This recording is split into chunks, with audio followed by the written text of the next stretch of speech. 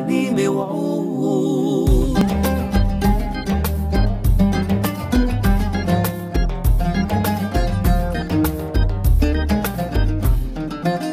ترنيمة وعود للرب المعبود.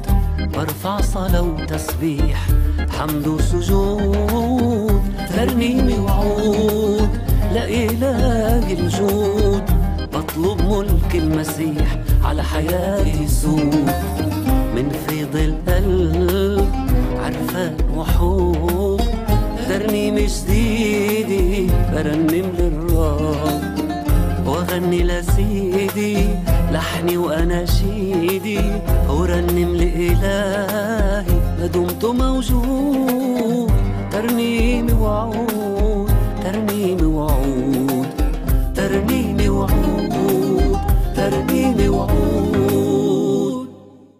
بسم الآب والابن والروح القدس الإله الواحد آمين. أعزائي المشاهدين مبسوط أكون معكم بحلقة جديدة برحب فيكم فيها ببرنامج برنامجكم ترنيمة وعود. ترنيمتنا اليوم ترنيمة قديمة مش أنا اللي كاتبها ترنيمة اللي كاتبها كاتب سويدي. آه اسم الترنيمة ياس بالعربي ترجمت ليا سيدي لما أرى نجومك How great thou art لما ترجمت باللغة الإنجليزية وترجمت لعدة لغات. وهالترنيمة كنت أسمعها زمان من من والدتي وأنا صغير فضل اللحن معلق معي لكن تعلمت اللحن غلط لغاية ما تعرفت أكثر على الترنيم وصلحت صلحت في اللحن وصلحت في الأشياء وانسألت عن عن جمل معينة في الترنيمه وشخص معين طلب مني اني إني أقدم الترنيمه في برنامج ترنيمه وعود وأحكي عن المقام الملعوبة في الترنيمه. طبعا هي ترنيمه ترنيمه غربية ومقام الترنيمه مقام العجم أو ال major. أنا اخترت طبقة ال B flat أو السي بيمول.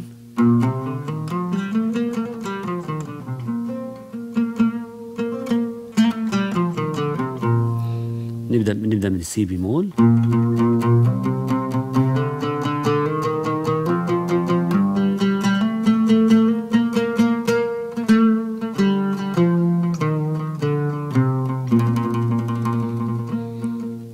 اختياري لانها تكون عجم مش اختياري يعني اختيار المؤلف زي ما بقول كل مرة. مقام الترنيمة يحدد من ال- الشخص اللي بيألف الترنيمة.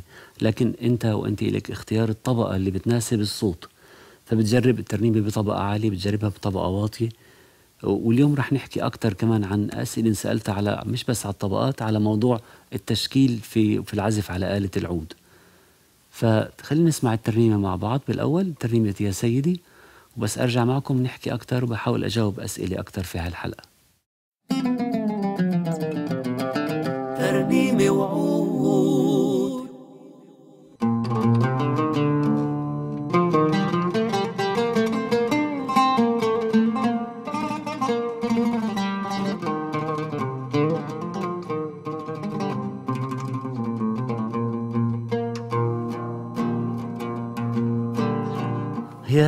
يا سيدي لما أرى نجومك وكلما يدور في الأفلاك.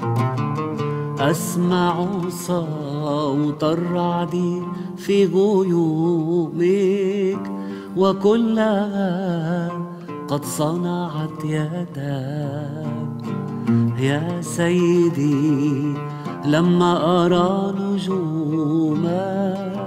وكلما يدور في الأفلاك أسمع صوت الرعد في غيومك وكلها قد صنعت يدك نفسي تغني يا مخلصي ما أعظمك ما أعظمك نفسي تغني يا مخلصي.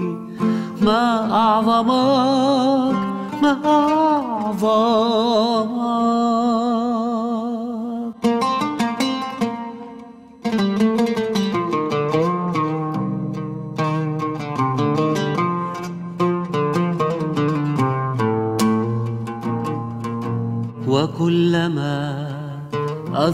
أذكر كيف ربي قد بذل ابنه عن الخطى بدمه أزال كل ذنبي وردني للسير في هدى. وكلما أذكر كيف ربي قد بذل ابنه عن الخطى بموته أزال كل ذنبي وردني للسير في هدى. نفسي تغني يا مخلصي ما أعظمك ما أعظمك.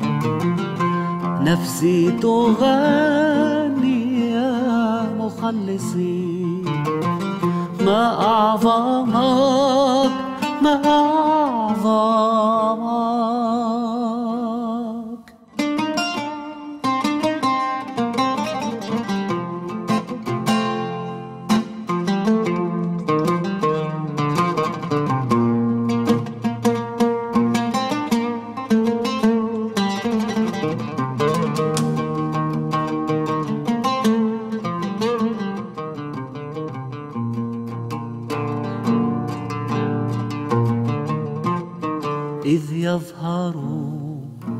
مسيح بانتصار يأخذني إلى السماء هناك.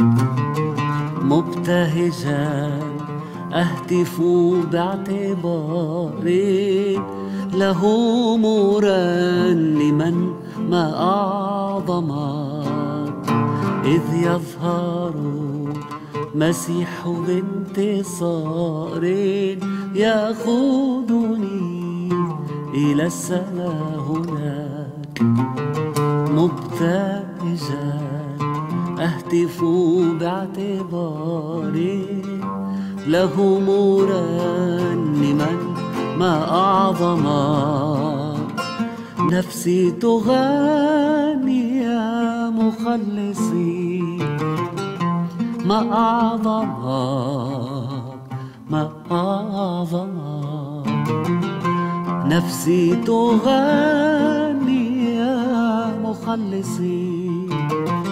ما أعظمك ما أعظمك. نفسي تغني نفسي تغني يا مخلصي. ما أعظمك ما أعظمك. نفسي تغني يا مخلصي. ما أعظمك ما أعظمك.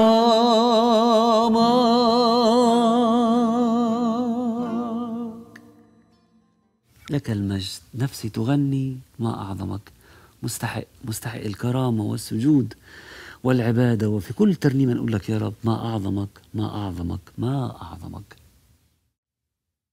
زي ما سمعنا ترنيمة نفسي تغني يا سيدي ما أعظمك على على مقام مكتوب على مقام العجم. على فكرة برضو المقام هذا اسمه عجم عشيران في التصنيف العربي للمقامات لأنه البي فلات آه، طبقة اسمها عشيران. فالسؤال كان إنه طب أنا عندي ترنيمة وتعلمت أعزفها. كيف ممكن أشكل في العود أو في صوتي في الترنيمة؟ طبعا التشكيل في الصوت اسمه عرب. ال- التشكيل الوحدة اسمها ال- في الجمع اسمها عرب. والعرب هي حسب مقدرة ال- المؤدي وأنا لا أدعي إني من المؤدين الشاطرين كثير في العرب. في ناس ربنا معطيها مواهب كثير في هالمجال إنه بيأدي اللحن أو الجملة اللحنية في في في نوتات يقال لها تطريبية. ولكن هي توصل إلى مستوى عالي ومستوى دقيق من الأداء الرفيع اللي المستمع اللي العارف السامع الصح بيقدر. والواو الجملة هون كانت حلوة كان في تغيير حلو كان في آه شيء غير عن المعتاد. هي اسمها عرب في الصوت واسمها تشكيل أو زخرفة على آلة موسيقية مثل العود. فقبل ما أعرف هيك لازم أكون أول شيء حافظ لحن الترنيمة صح أو لحن ما أريد أن أعمل فيه عرب أو أو تشكيل أو زخرفة. فمثلا ترنيمة يا سيدي.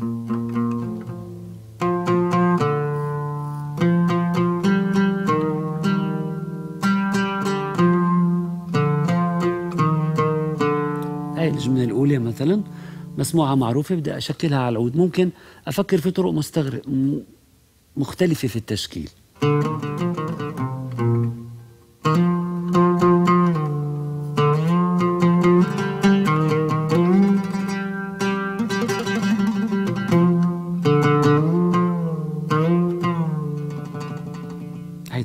مثلا ممكن.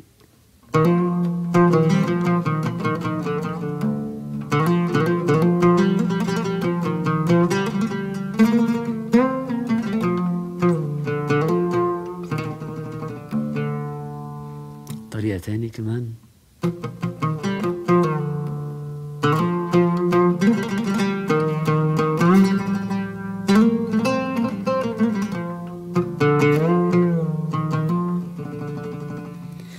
جدا لما بشكل في أو بزخرف إني ما أضيع اللحن الأساسي. مثلا لو بدي أعمل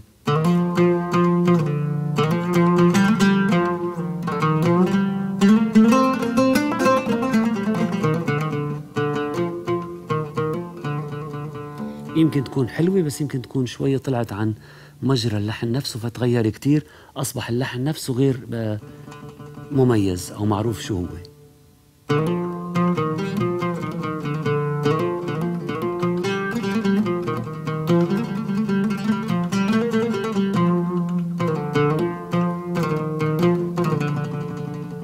واللحن الثاني من الترنيمة؟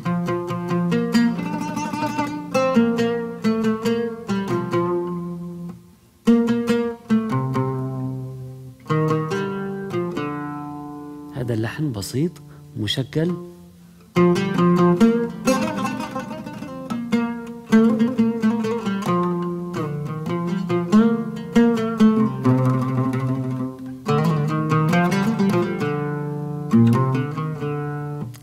كمان طريقة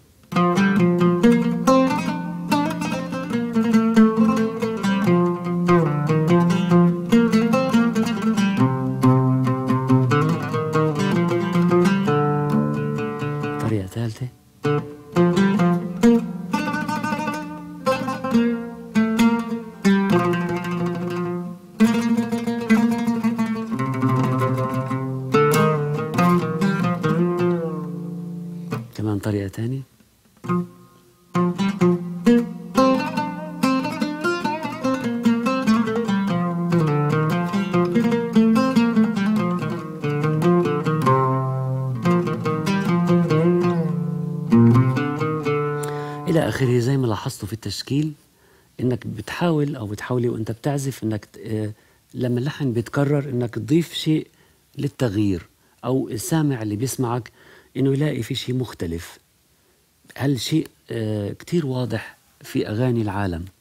وزي ما بقول كل مرة أغاني العالم وموسيقى العالم مش مفروض تكون أرقى وأعلى من الترنيم. إحنا عنا المفاهيم والقيم الأسمى. بصلي إنه نغير هالفكرة وكل ما في العالم من إمكانيات فنية ولحنية وتطريبية وتأليفية وكتابية حتى في الكلمات والإبداع في الكلمات المستحدثة والغير معروفة أو غير معتادة إن نجيبها لمجد المسيح نسبح فيها الرب. بصلي هالحلقة تكون أعطت يعني شرح بسيط للسؤال اللي انسألته عن التشكيل وبصلي إني أكون أديت الترنيمة حقها وأعطيتها نمط بيختلف عن اللي سمعتوه من قبل. أشكركم لمتابعتكم وأشكركم لكل الكومنتس والتعليقات اللي بتوصلني على صفحة الفيسبوك. بصلي رب يكون معكم دايما ويبارك حياتكم ويملاكم. سلام المسيح. ترنيمة وعود.